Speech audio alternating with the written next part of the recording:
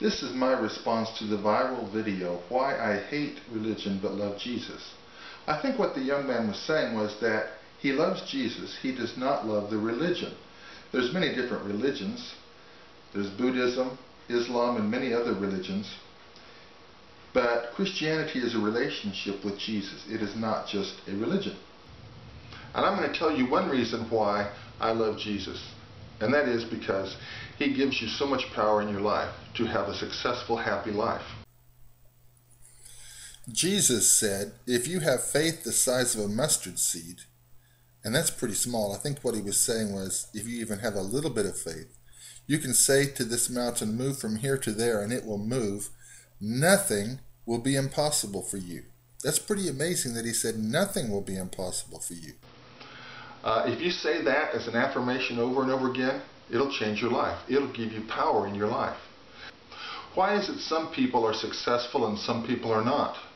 Is there some kind of a force, some kind of a science, a magic, or what is it that causes some people to be happy and successful in the things that they do and other people are not?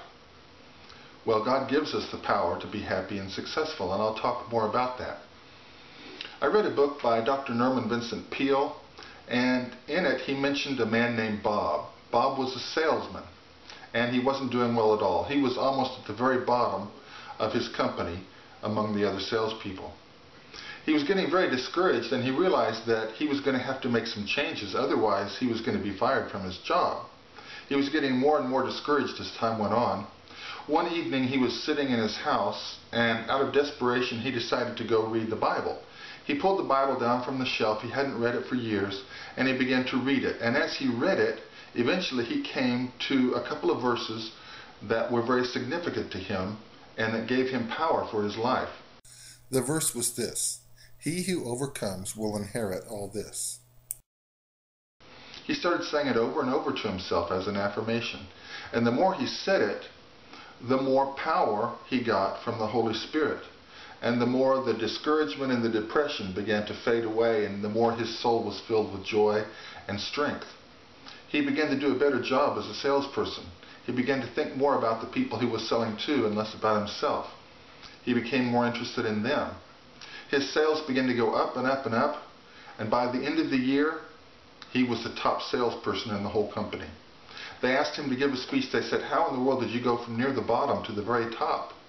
And he said, You know, I'm not a religious person. I don't like to talk about religion. But I found a Bible and I found a verse in it that gave me strength. I began saying it over and over again, and it has changed my life. Well, many people talk about faith, the power of positive thinking, power of mental attitude, the law of attraction, whatever you want to call it. But it's a powerful force that makes you successful in your relationships, in your job, for happiness, anything you can think of it, the Holy Spirit will give you power if you're a Christian. The Apostle Paul said, I can do everything through Christ who gives me strength. Not too many people believe that. I can do everything through Christ who gives me strength. Say it out loud 10 times a day, and it'll make you stronger. It'll make you more successful, and it'll make you happier. But some people say, well, the Apostle Paul probably should have said, I can do a few things through Christ who gives me strength, or I can do some things through Christ who gives me strength, or maybe I can do most things through Christ who gives me strength. But he did not say that. He said, I can do everything through Christ who gives me strength. Jesus said the same thing over and over again.